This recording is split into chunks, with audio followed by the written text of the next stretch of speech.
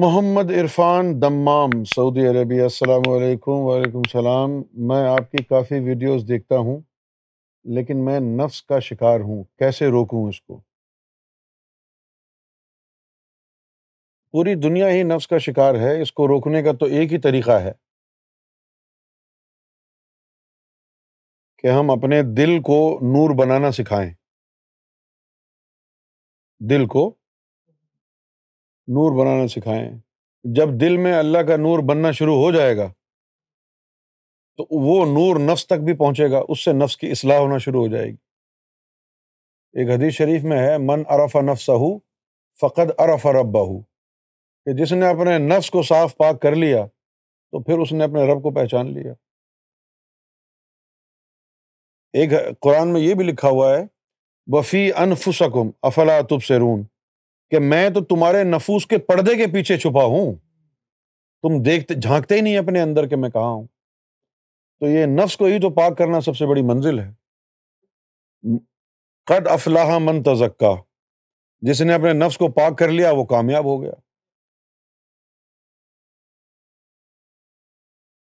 یہ جو نفس ہے ہاں۔ ہمارے جسم میں اللہ تعالیٰ نے سات روحوں کو رکھا ہے۔ پانچ روحیں تو ہمارے سینے میں ہیں۔ اور ہوا سے خمسہ کا تعلق بھی ان پانچ روحوں سے ہے۔ لطیفہ قلب، لطیفہ روح، لطیفہ سری، لطیفہ خفی، لطیفہ اخفا۔ یہ پانچ روحیں اور لطائف ہمارے سینے میں ہیں۔ اور ایک ہمارے سر میں ہے، جس کی مدد سے ہم سوچتے، سمجھتے ہیں۔ اس کا نام ہے لطیفہ انا۔ اور ایک ہمارے مقام ناف پر ہے۔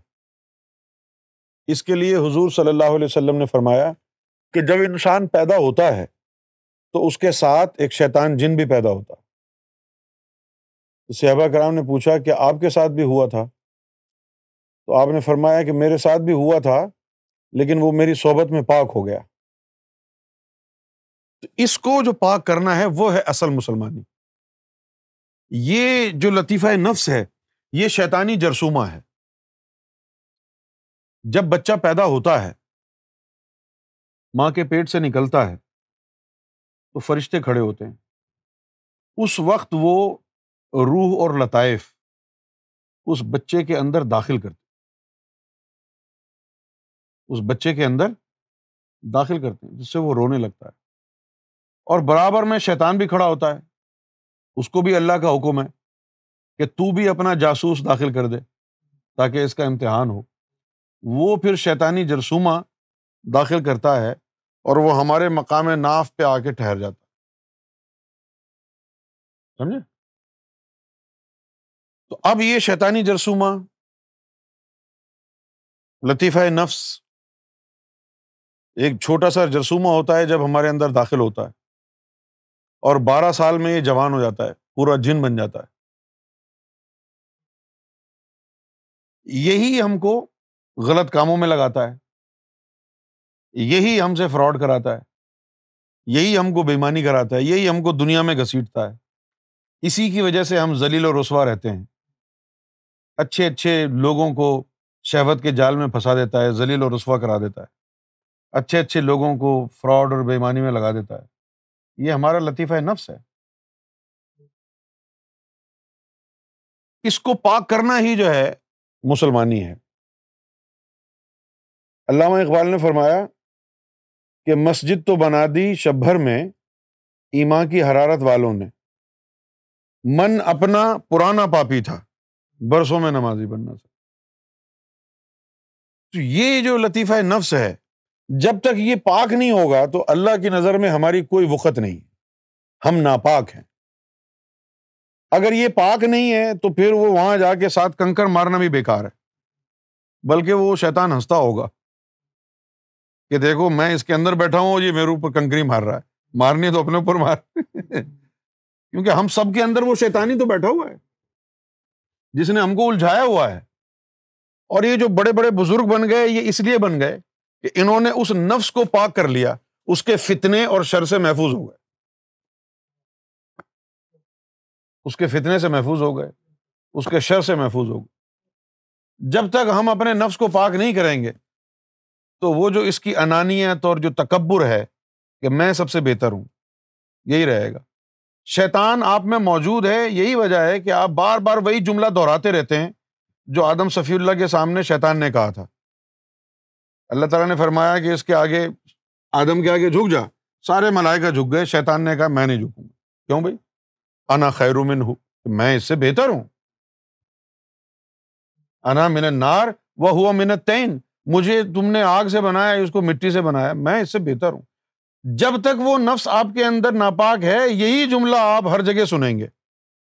آئی ایم بیٹر دین ہم آئی ایم بیٹر دین ہر می می جو سہولت ملے مجھے، جو زمین جائیداد ملے مجھے، جو پیسہ ملے وہ مجھے۔ باقی کوئی نظر نہیں آئے گا۔ آپ کی کہانی آپ ہی کے گرد گھومتی رہے گی۔ انانیت، یہ جو میں ہے، یہی شیطان کا وجود ہے۔ اور جب یہ پاک ہو جاتا ہے تو میں نکل جاتی ہے۔ بلے شاہ نے کہا، جدوں دی میں جوگی دی ہوئی۔ میں وچ میں نہ رہ گئی کوئی۔ یہ بزرگوں نے میں کوئی نکالا۔ جب یہ میں نکل، میں ایسے تھوڑی نکلتی۔ اللہ کے نور سے کے ذریعے نکلتی ہے۔ کوئی نفس شکن بزرگ ہو، ولی اللہ ہو، اس کی حمایت حاصل ہو، تو پھر یہ نور کے ذریعے اس میں کو نکالتے ہیں، اس کو کلمہ پڑھاتے ہیں۔ مرشد کامل کا کام یہی ہے کہ وہ دل کو بھی کلمہ پڑھائے اور نفس کو بھی۔ پھر یہ نفس جب کلمہ پڑھنے لگتا ہے، لا الہ الا اللہ محمد الرسول اللہ، تو اس کلمے سے اس میں نور بننا شروع ہو جاتا ہے۔ جب اس میں نور بننا شروع ہو جاتا اب یہ اصلاح نفس ہے۔ نور بننا شروع ہو جاتا ہے تو یہ نفس امارہ سے نفس لوامہ نفس لوامہ سے نفس ملحمہ نفس ملحمہ سے نفس مطمئنہ۔ جب یہ نفس پاک ہو گیا، اب آپ اللہ کی نظر میں، اللہ آپ سے مطمئن ہو گیا۔ اور اللہ تعالیٰ نے فرمایا کہ اے نفس مطمئن والا، میں اس سے مطمئن تو مجھ سے راضی ہو جا، میں تجھ سے راضی ہو جاؤں۔ تو سارا اسلام یہی ہے کہ اندر والے شیطان کو پکڑ کے اس کو مسلمان بنائے اب ہم نے اپنی شکلوں کو اپنے داڑیوں کو مسلمان بنایا ہے، اندر شیطان جو بیٹھا ہے، اس کو چھیڑا ہی نہیں۔ اصل اسلام وہی ہے کہ اندر والے شیطان کو پکڑ کے مسلمان بنائے یہ جو آیت ہے کل نفس ذائقۃ الموت۔ اس کی جو تفاصیر ہیں وہ مختلف ہیں۔ ظاہری شریعت کی تفسیر کچھ اور ہے اور طریقت کی تفسیر کچھ اور ہے۔ ہر علم کے اعتبار سے بدل جاتی ہے۔ لیکن جو عموماً اس کا مطلب اخذ کیا جاتا ہے وہ یہ ہے کہ ہر انسان نے مرنا ہے۔ کل نفسن ذائقۃ الموت۔ ہر انسان نے یہ ہے مومن مومن کے نفس کو بھی موت آئے گی۔ مومن کے نفس کو اچھا جب نفس پاک ہو جاتا ہے تو یہ اس کی شکل آپ کے جسم جیسی ہو جاتی ہے۔ اب اس کے پاک کرنے کا فائدہ کیا ہے؟ ایک فائدہ تو یہ ہے کہ اس کی طرف سے جو شیطانی ہے وہ ختم ہو جائے گی، ناپاکی نہیں رہے گی۔ دوسرا فائدہ اس کا یہ ہے کہ جب یہ نفس پاک ہو گیا تو یہ آپ مر گئے، آپ کی روح اوپر چلی گئی۔ یہ نفس آپ کا قبر میں بیٹھ کے نمازیں پڑھتا رہے گا، تلاوت کرتا رہے گا اور یوم میشر تک کرتا رہے گا۔ تو اس کا ثواب کس کو ملے گا؟ تمہاری روح کو ملے گا نا۔ اور اگر تم نے اپنے دل کو بھی پاک کر لیا، تو وہ قلب بھی اس کے اندر سے بھی فرشتہ نکلتا ہے، لطیفہ قلب اس کو کہتے وہ بھی قبر میں بیٹھ کے نمازیں پڑھتا رہے گا، ذکر کرتا رہے گا۔ تبھی تو لوگ کہتے ہیں کہ یہ قبروں میں بزرگ زندہ ہیں۔ بزرگ کی روح تو اوپر چلی گئی۔ وہ جو قبروں میں ہے، وہ کیا ہے پھر؟ وہ قبروں میں یہی چیزیں ہیں نا۔ کوئی لطیفہ نفس، لطیفہ قلب انہیں کے جسے اور نفس کے جسے ہیں نا۔ حضور پاک شب معراج میں گئے موس علیہ السلام کی قبر کے برابر سے گزرے۔ دیکھا موس علیہ السلام قبر میں نماز پڑھ رہے ہیں۔ فوراً اوپر پوچھے، پہنچے۔ دیکھا موس علیہ السلام وہاں پر بھی موجود ہیں۔ ابھی جو وہاں بھی کہتے ہیں کہ یہ جو مر گئے، سو مر گئے، ان قبروں میں کیا رکھا ہے؟ بالکل، جو مر گیا، وہ مر گیا، ان کی قبروں میں کچھ نہیں ہے۔ لیکن مرنے سے پہلے جس نے اپنا اندر بیدار کر لیا، وہ تو قبروں میں بھی زندہ ہے نا؟ ان کی روح اوپر چلی گئی، عالم بزرخ میں۔ اور یہ جو چیزیں تھیں ان کی، یہ قبر میں ولی بن کے بیٹھی ہوئی ہیں، لوگوں کو فیض پہنچا رہی ہیں۔ ہاں مومن کے نفس کو بھی موت آئے گی۔ پھر یوم میشر وغیرہ جب ہو جائے گا، حساب کتاب وغیرہ ہو جائے گا، پھر وہ سور پھونکا جائے گا، یہ نفس جتنے بھی ہیں، یہ سب مر جائیں گے۔ پھر جنت میں بھیجنے سے کے وقت اللہ تعالیٰ مومنوں کو نئے جسم دے گا۔ اور نئے نفس بھی دے گا۔ وہ نفس نفس سے قدسی کہلائیں گے۔ یعنی پاک ہوں گے وہ۔ نفس قدسی سے مراد کیا ہوتا ہے؟ قدس جو لفظ ہے نا، اس کا جو اصل معنی ہے، وہ ہے رب کی حمد کرنا۔ تو نفس قدسی کا مطلب ہو گیا، اللہ اللہ کرنے والے نفس دیے جائیں گے، شیطانی کرنے والے نہیں۔ وہ نفس جو اللہ اللہ کرتے ہوں گے، اللہ کی حمد و سنا بیان کرتے ہوں گے۔ وہ نفس۔ جتنا مرضی ہے ظاہر میں نماز قرآن پڑھ لو، یہ نفس پاک نہیں ہوتا۔ اگر یہ قرآن اور حدیث پڑھنے سے نفس پاک ہوتا تو یہ مسجدوں میں مولوی لونڈے بازی کیوں کرتے؟ کیوں جی؟ ہم سمجھتے یہی ارے جی قرآن پڑھ رہا ہے، یہ تو پاک ہو گیا ہوگا۔ قرآن پڑھنے سے پاکی آتی ہے، لیکن جن چیزوں کو قرآن پڑھنا ہے وہ پڑھ ہی نہیں رہی نا۔ قرآن اگر دل پڑے گا تو پاکی آئے گی نا۔ قرآن اگر نفس پڑھے گا تو باقی آئے گی نا۔ تم تو زبان سے پڑھ رہے ہو نا۔ کیوں جی؟ اب اوپر تو جسم تمہارا نہیں جائے گا۔ اوپر تو روح نے جانا ہے۔ اور ساری زندگی تم نے نمازیں کل میں پڑھے اس زبان سے۔ یہ زبان یہیں دفن ہو گئی۔ روح کو کچھ سکھایا نہیں۔ تو روح تو جاہل جائے گی نا اوپر۔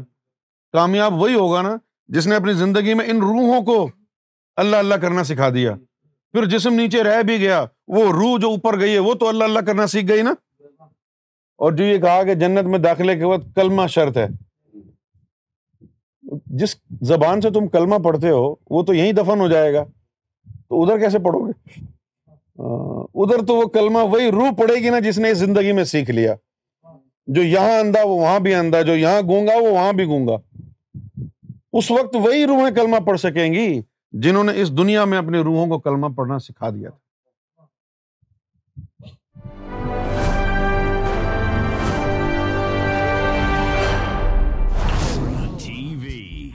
Bringing light love and peace in your life